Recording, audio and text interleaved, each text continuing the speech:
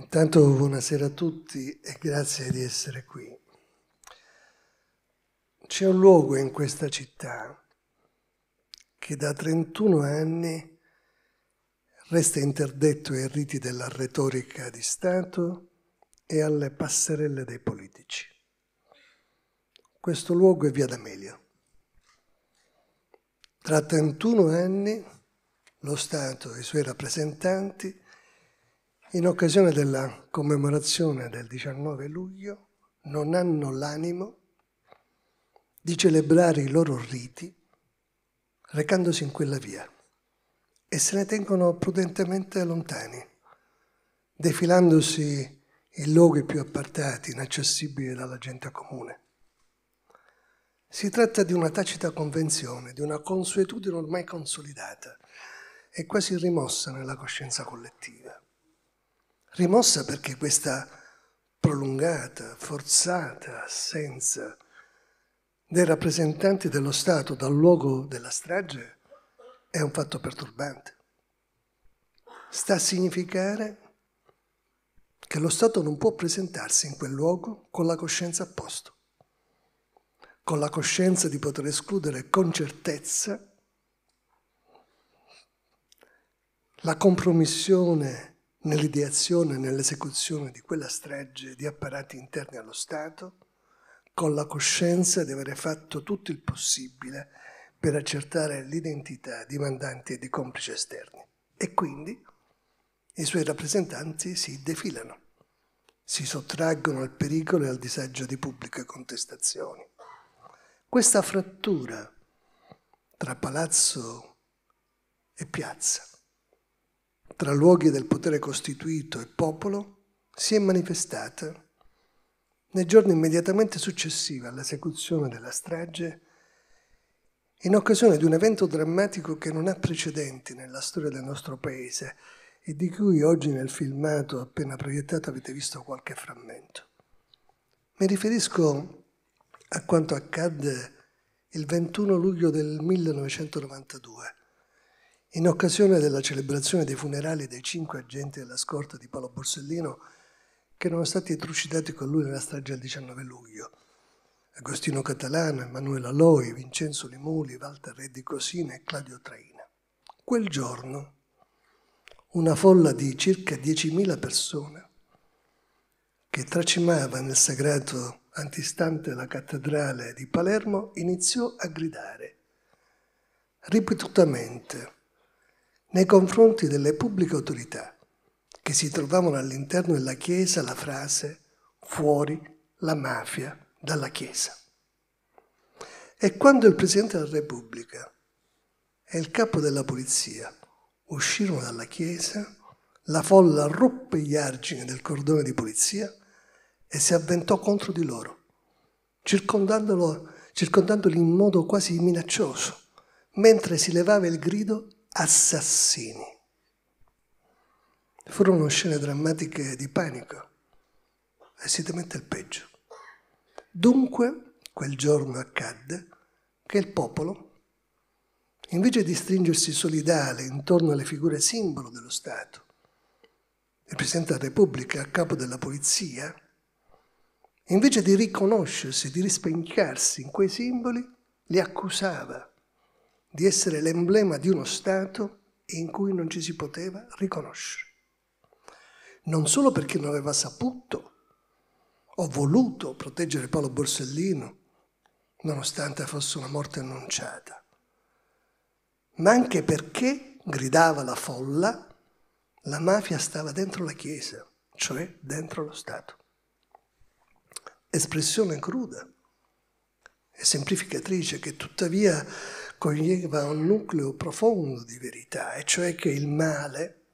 non stava tutto fuori dallo Stato, non albergava soltanto nei cuori malati di personaggi come Rina e simili, ma stava anche dentro lo Stato, si annidava, si annidava nelle pieghe segrete dello Stato, corrodendolo dall'interno. A distanza di 31 anni dobbiamo dolorosamente riconoscere che quel grido assassini che si levò dal cuore della folla quel giorno. Quel grido che accusava una parte dello Stato di essere complice della strage. Quel grido che allora sembrò incomprensibile, inconsulto, irrazionale, conteneva un seme scandaloso e profondo di verità. Abbiamo tutti gli elementi oggi per poter ammettere la tragica verità che la strage via d'Amelio non fu solo una strage di mafia, ma una strage che chiama in causa componenti interni dello Stato, componenti che hanno occupato posizioni strategiche, tali da essere in grado di operare ripetutamente e continuativamente nel tempo per depistare le indagini e impedire così che si potesse accertare la responsabilità di livelli superiori a quelli degli esecutori. Lo hanno fatto nell'immediatezza, facendo sparire con straordinario tempismo l'agente rossa, tempismo possibile solo perché era una conoscenza in anticipo del luogo e del tempo della strage, quindi erano complici. Hanno continuato a farlo operando a distanza negli anni, mediante la costruzione a tavolino, due anni dopo, nel 1994, di falsi collaboratori di giustizia con una complessa orchestrazione che ha visto interagire di concerto vertici della polizia e vertici dei servizi segreti, hanno proseguito nel tempo con un'inquietante continuità, quasi sino ai nostri giorni, con un'azione depistante, una presenza inquinante che si è mossa nell'ombra, dietro le quinte, che ci fa comprendere, appunto, come la strage di Via D'Amelio sia ancora una partita aperta come la strage sia ancora tra di noi, come un vulcano che sembra spento, ma che in realtà nelle sue viscere conserva un magma infuocato che si teme che possa esplodere, travolgendo con le sue verità travolgenti non soltanto destini individuali,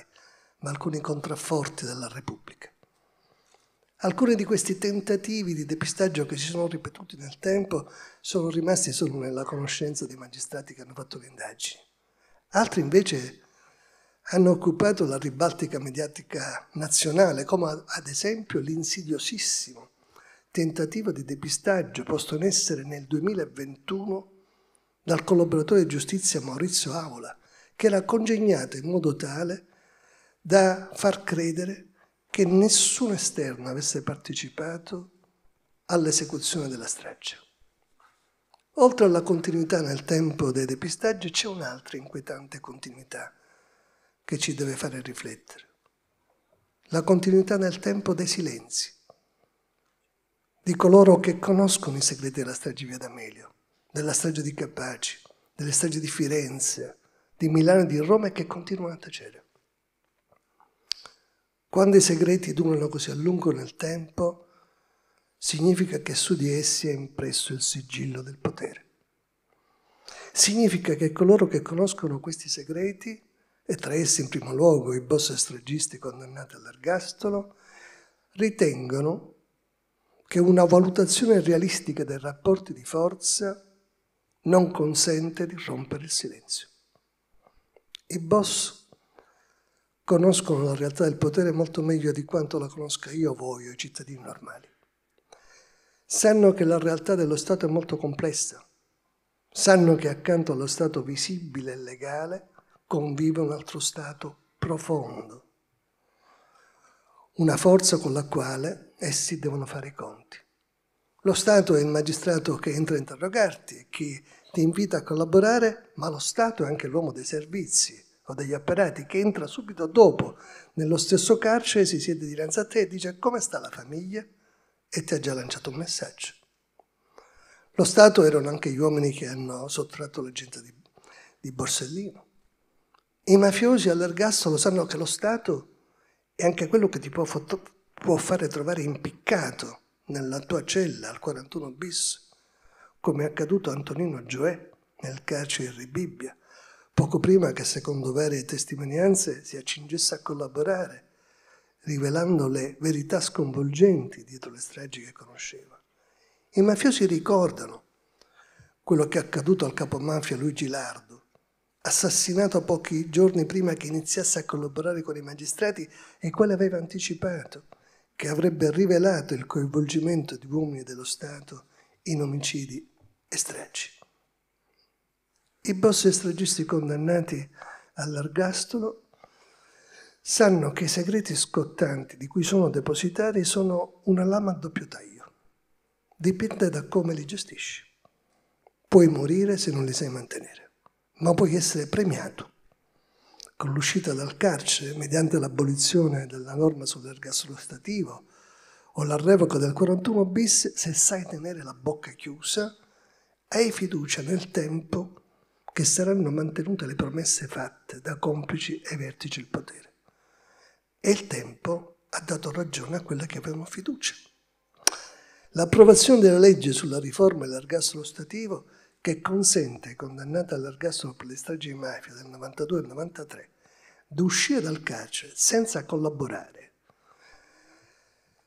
cioè in sostanza con la semplice dissociazione, senza neppure l'obbligo di motivare le ragioni del rifiuto a collaborare, assume il significato inequivocabile di una rinuncia dello Stato a conoscere i segreti delle stragi del 92 e 93 assume il significato inequivocabile di un'autorizzazione statale al silenzio, di una legittimazione e normalizzazione della cultura dell'omertà, pilastro della cultura mafiosa. Dunque, la strage di Via D'Amelio è ancora tra noi, con i suoi inquietanti nodi irrisolti, le sue verità indicibili, e quell'urlo della folla del 21 luglio 92, assassini, continua nella sua crudezza a risuonare nell'aria e attraversa il tempo e giunge potente sino a noi, oggi, qui. E quel grido si placherà solo se e quando sapremo la verità che sino ad oggi ci è stata negata. Così pure non riusciranno a spegnere l'altro grido della folla quel giorno del 21 luglio 92, fuori la mafia dallo Stato. Un grido che è risuonato anche quest'anno, il 23 maggio del 2023, rinnovato dai partecipanti al corteo organizzato dalle associazioni giovanili studentesche, dalla CGL, da tante altre sigle, con l'adesione Antimafia 2000, cittadini ai quali è stato vietato a colpi di manganello, come se fossero pericolosi e rivoltosi, di poter accedere alla via Notar Bartolo e giungere all'Albo Falcone perché si temeva potessero in qualche modo turbare l'esibizione delle pubbliche autorità sul palco dinanzi all'albero Falcone, sul quale era stato invitato a salire il sindaco di Palermo, eletto a quella carica con l'assist di Marcello Dell'Utri e Salvatore Cuffaro.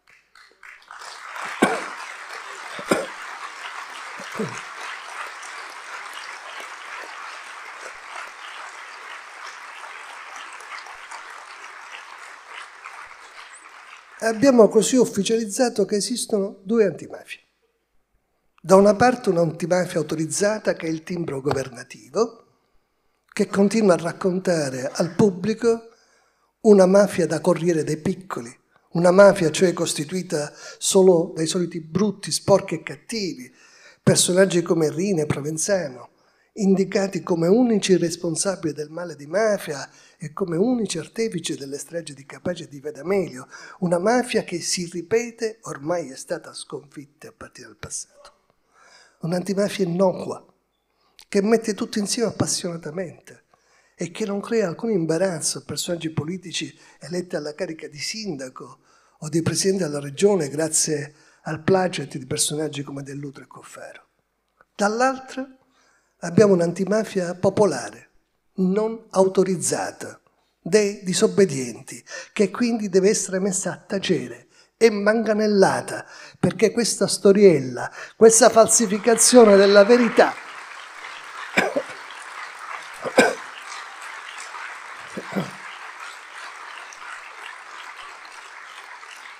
questa storiella, questa falsificazione della verità, della storia, noi non ce la beviamo.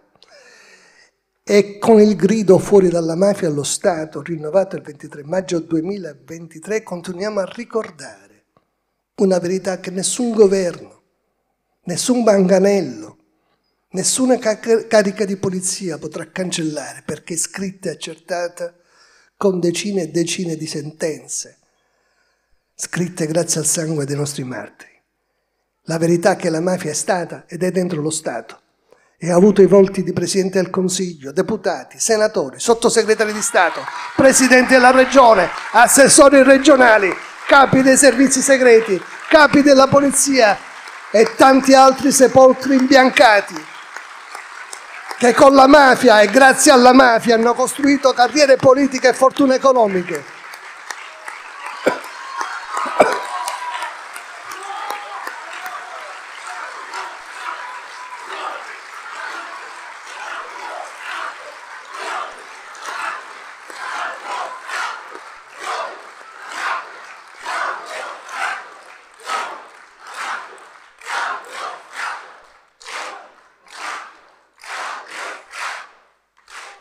La verità accertata con le sentenze è che Rina, il Provenzano, e Matteo Messia Denaro sarebbero rimasti volgari criminali, assicurati alle patrie galere in breve tempo senza questo livello di protezioni.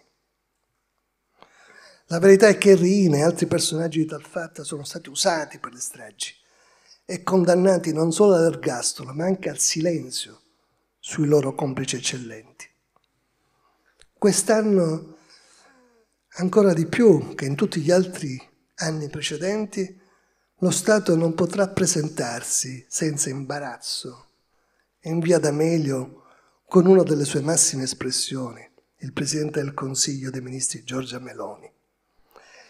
Il Presidente Meloni ha più volte ripetuto la propria ammirazione per Paolo Borsellino dichiarando che proprio la strage di Via D'Amelio era stato l'evento che l'aveva indotto a, a iniziare la propria attività politica. Ebbene è evidente che la Meloni deve essere caduta in un equivoco oppure fa anch'essa esercizio di vuota retorica sul sangue dei nostri martiri, perché non è possibile affermare di ispirare la propria azione ai valori di legalità di Paolo Borsellino e poi dichiarare il lutto nazionale con un atto di imperio politico totalmente discrezionale per la morte di Silvio Berlusconi.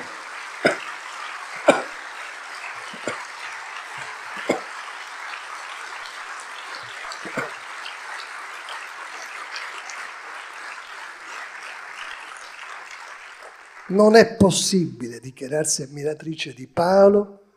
e nello stesso tempo indicare a tutti gli italiani e al mondo intero come esempio da seguire, come modello di virtù repubblicane, un uomo come Berlusconi, che è stato l'antitesi vivente di tutti i valori ai quali Paolo ha dedicato la propria esistenza e ha sacrificato la propria vita. Un uomo come Berlusconi, che prima da imprenditore con la mafia ha stretto accordi, ha deciso di convivere, poi da politico ha portato la mafia dentro lo Stato, facendo leggere al Senato Marcello Dell'Utri, facendo nominare sottosegretari interni il senatore Antonio Dalì, protettore della mafia di Trapani, facendo nominare sottosegretari di Stato Nicola Cosentino, referente, del, referente della Camorra, portando in Parlamento Amadeo Mattacina, colluso con l'Entrancheta. Abbia rispetto per i nostri morti, Presidente Meloni. Noi siamo le nostre scelte. Lei ha scelto da che parte stare, scelte che dimostrano che Paolo Borsellino non le appartiene.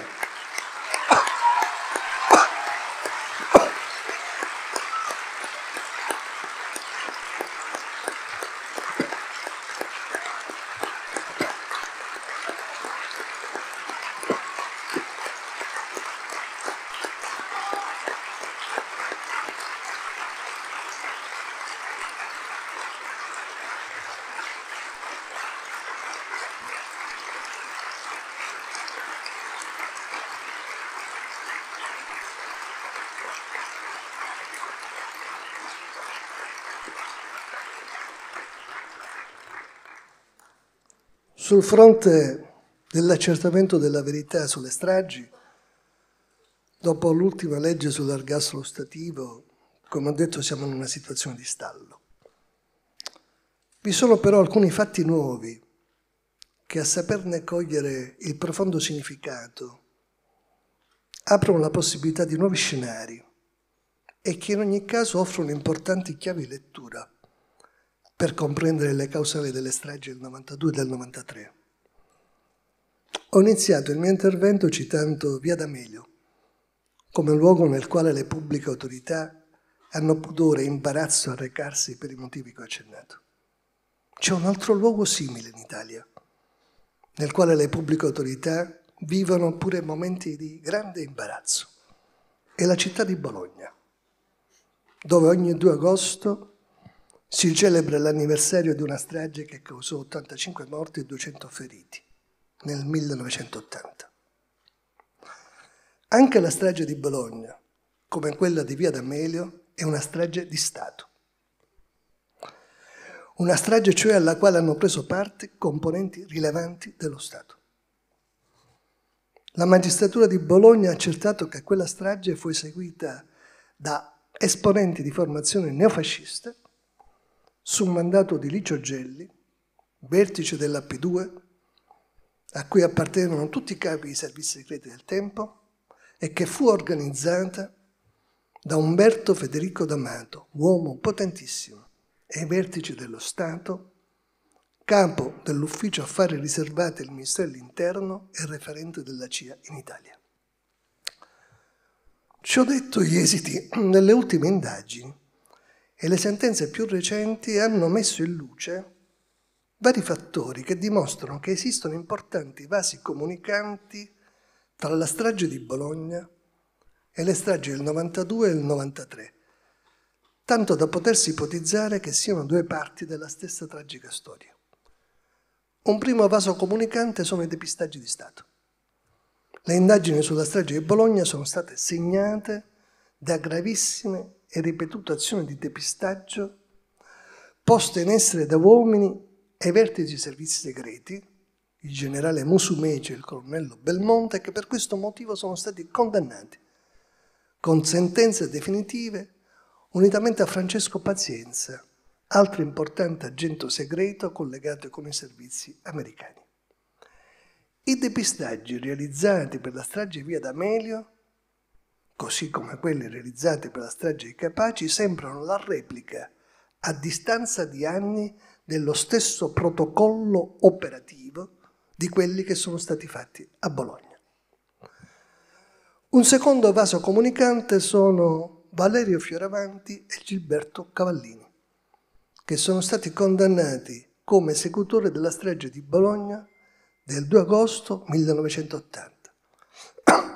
Chi sono Valerio Fioravanti e Gilberto Cavallini? Due esponenti della destra eversiva che furono individuati da Giovanni Falcone come coloro che avevano eseguito l'omicidio a Palermo pochi mesi prima della strage di Bologna, il 6 gennaio del 1980, di Piersanti Mattarella, presidente della regione siciliana, che si apprestava a proiettarsi sullo scenario nazionale rilanciando nel congresso della democrazia cristiana che doveva svolgersi nel febbraio 1980 la linea politica del compromesso storico dopo l'omicidio di Aldo Moro. Linea politica strenuamente avversata dagli stessi soggetti che si resero responsabili pochi mesi dopo di quello stesso anno dell'organizzazione della strage di Bologna del 2 agosto e dei successivi depistaggi, e cioè Licio Gelli e Umberto Federico D'Amato, i quali, secondo la sentenza della Corte di Assise di Bologna del 5 aprile 2023, utilizzavano come killer Valerio Fioravanti, Gilberto Cavallini ed altri esponenti della destra eversiva garantendo loro fiumi di denaro e poi impunità. Un terzo robusto canale di collegamento tra Bologna e Palermo è venuto alla luce con la condanna, come ulteriore esecutore della strage di Bologna, di Paolo Bellini, esponente di Avanguardia Nazionale, uomo dei servizi segreti, il quale fu in missione in Sicilia quasi ininterrottamente nel corso del 1992, nello stesso periodo in cui era presente in Sicilia Stefano Delle Chiaie, leader di avanguardia nazionale e in collegamento con Umberto Federico D'Amato. È stato accertato che Paolo Bellini dialogò ripetutamente in quei mesi con Antonino Gioè, esecutore della strage di Capaci, a sua volta uomo cerniera della mafia e servizi segreti, al quale, come ha dichiarato Giovanni Brusca, suggerì di alzare il livello dello scontro con lo Stato effettuando attentati contro i beni artistici nazionali. Nella motivazione della sentenza di condanna di Cavallini come esecutore della strage Bologna, la Corte di Assisi di Bologna ha dedicato quasi 100 pagine alla rivisitazione dell'omicidio Mattarella, giungendo alla conclusione, anche alla luce di nuove acquisizioni probatorie, che Giovanni Falcone aveva ragione nell'aver individuato Fioravanti e Cavallini come esecutori dell'omicidio Mattarella ed evidenziando le connessioni che c'erano tra quell'omicidio e la strage di Bologna. Mi risulta personalmente che Falcone era fermamente intenzionato a riprendere quelle indagini se fosse stato nominato procuratore nazionale antimafia. E fu proprio questo il motivo principale dello scontro col procuratore Gianmanco. Non gliene diedero il tempo, massacrandolo il 23 maggio a Capaci. E la stessa sorte riservarono a Paolo Borsellino, affrettandosi, prima che avesse il tempo di dichiarare alla procura di Caltanissetta quanto aveva preso da Falcone ed alcune fonti, alcune le abbiamo scoperte recentemente queste fonti, che oltre a rivelargli le collusioni di Bruno Contrada con la mafia, lo avevano informato. E lo avete visto nel filmato che si erano svolte delle riunioni segretissime nella provincia di Enna tra alcuni supercapi di Cosa Nostra, nel corso delle quali era stato messo a punto un complesso piano stragista di destabilizzazione politica, il cui primo atto sarebbe stato la strage di Capaci, e che vedeva la partecipazione a questo piano insieme a Cosa Nostra degli stessi soggetti che avevano gestito la strategia della tensione negli anni 70-80, la massoneria deviata, la destra eversiva, i servizi segreti. Circostanze che Paolo aveva annotato nella sua agenda rossa, un'agenda che quindi doveva sparire prima che finisse nelle mani dei magistrati, i quali seguendo quel filo d'Arianna che usciva da quelle pagine, da Palermo potevano risalire passo dopo passo fino a Bologna, facendo così uscire dagli armadi tanti scheletri della Prima Repubblica, che invece sono transitati nella Seconda, contribuendo a sostenerne le fondamenta. Le indagini che abbiamo svolto alla Procura di Palermo nell'ambito del procedimento sistemi criminali hanno pienamente riscontrato che dietro le stragi nel 92 e nel 93 si è mosso, insieme alla mafia, un complesso sistema criminale. Lo stesso pool di sistemi criminali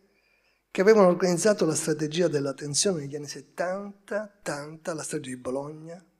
massoneria deviata, destra eversiva neofascista, servizi segreti. Qual era l'interesse che univa costoro e i mafiosi? Tutti questi che avevano fatto le stragi a Bologna, a Brescia, avevano fatto omicidi, avevano goduto di una scudo stellare di protezione da parte del sistema di potere della Prima Repubblica e da parte degli americani. Quando cade il muro di Berlino e quel sistema comincia a sfarinarsi, non riesce più a garantire protezione e gli Stati Uniti non sono più interessati, si trovano in una situazione drammatica perché si viene a creare un vuoto di potere e si ritiene che nelle elezioni del 1994 che ci saranno, chi vincerà le elezioni sarà un'alleanza tra la sinistra della democrazia cristiana, erede della linea Modo e Zaccaglini, e l'ex PC, il PDS, che realizzeranno il compromesso storico e ai vertici dello Stato, impostazioni strategiche, Ministro della Giustizia, Ministro degli Interni, Capo della Polizia, Procuratore Nazionale Antimafia, andranno uomini come Falcone, come Di Gennaro, come Luciano Violante e a quel punto si regoleranno tutti i conti del passato, usciranno tutti gli scheletri dall'armadio e fioccheranno ergastoli per tutti, non solo per i mafiosi, ma anche per i uomini dei servizi segreti, anche per i massoni che hanno fatto le stragi e quindi mettono insieme le forze. A Cosa Nostra viene affidato il compito di eseguire le stragi come braccio militare, ma nei tempi e nei luoghi indicati dagli specialisti della strategia della tensione, in modo che le stragi fossero finalizzate a raggiungere l'obiettivo che dovevano raggiungere, e cioè impedire che potesse arrivare al potere un governo delle sinistre e nello stesso tempo preparare il terreno per la discesa in campo di un nuovo soggetto politico. Questo nuovo soggetto politico sarà poi Forza Italia. Così come previsto, il piano prende l'avvio in Sicilia con la strage di Capaci che elimina quello che viene ritenuto il più pericoloso nemico non solo della mafia, ma del sistema criminale, Falcone, perché aveva le chiavi per capire quello che stava succedendo. E poi prosegue con la strage di Via D'Amelio, che subisce un'accelerazione perché Paolo Borsellino, grazie a quello che aveva detto Falcone e grazie alle confidenze che aveva avuto da Leonardo Messina, che gli aveva rivelato le riunioni segrete che si erano svolte ad Enna, da altri collaboratori come Alberto Lo Cicero, era venuto a conoscenza, aveva capito cosa stava per accadere. Se l'avesse dichiarato a Caltanissetta, il piano sarebbe fallito e dopo le stragi di Capaci di Via D'Amelio parte la seconda parte del piano. Non bastava fare le stragi in Sicilia. Per quanto fossero eventi drammatici, un milanese, un toscano, sino a quando tutto avveniva in Sicilia, non si sentivano in pericolo. E quindi bisognava portare le stragi al nord, in modo da creare un clima di insicurezza di panico in tutto il paese. E le stragi dovevano essere anonime, in modo che non si capisse chi le faceva. E le stragi cominciano quando? Cominciano dopo il 28 aprile del 1993. Perché? Che succede quel giorno? Succede che si insedia il governo Ciampi.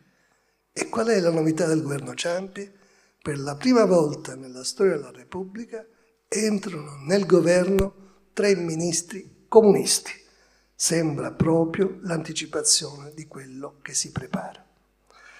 Le stragi subiscono accelerazione quando si viene a conoscenza che c'è un accordo segreto che è stato siglato da Occhetto, che recentemente lo ha rivelato, segretario del Partito Democratico di Sinistra, e Martinazzoli, segretario della Democrazia Cristiana, che prevedeva per l'elezione del 1994 un'alleanza tra la sinistra DC e PDS con la presidenza del Consiglio che non sarebbe stata affidata a Occhetto per evitare di creare una mancanza di voto da parte di quelli che ancora avevano delle resistenze nei confronti dei comunisti, ma sarebbe stata affidata la presidenza del Consiglio a Carlo Azeglio Ciampi. Le stragi cessano quando il risultato viene raggiunto con la vittoria delle elezioni politiche del 1994 di Forza Italia, sulla quale Cosa Nostra e l'Endrangheta fanno confluire i voti dell'organizzazione. Nasce così la Seconda Repubblica, le cui fondamenta sono intrise del sangue di tante vittime innocenti. Le vittime delle stragi neofasciste della stazione di Bologna, della Banca dell'Agricoltura di Milano, di Piazza della Loggia di Brescia, le vittime delle stragi politico-mafiose di Palermo, di via Giorgofili a Firenze, di via Palestra a Milano, fondamenta intrise del sangue di tanti uomini dello Stato, magistrati, esponenti delle forze di polizia, politici trucidati perché leali alla Costituzione e difensori della Repubblica Democratica e quindi considerati ostacoli da abbattere da poteri criminali nemici della democrazia che hanno potuto contare sulla complicità di tanti traditori dello Stato. Stasera vorrei idealmente ricordare tutti questi caduti, insieme a Paolo Borsellino, Agostino Catalano, Emanuele Alloi, Vincenzo Limuti, Walter Reddi Cossini e Claudio Trina. E concludere questo mio intervento dedicando a tutti loro le stesse parole che un grande padre della nostra Costituzione, Piero Clamandrei, dedicò il 7 agosto del 1947, in occasione di una solenne riunione del Parlamento, ai caduti della lotta al nazifascismo, che avevano sacrificato la propria vita per fare nascere la democrazia nel nostro paese. Queste sono le sue parole dedicate ai caduti del nazifascismo. Essi sono morti senza retorica, senza grandi frasi, con semplicità, come se si trattasse di un lavoro quotidiano da compiere. Il grande lavoro che occorreva restituire all'Italia libertà e dignità. Di questo lavoro si sono riservata la parte più dura e più difficile, quella di morire, di testimoniare con la resistenza la morte e la fede nella democrazia. A noi è rimasto un compito cento volte più agevole Assai poco in verità chiedono i nostri morti. Non dobbiamo tradirli e noi non li tradiremo.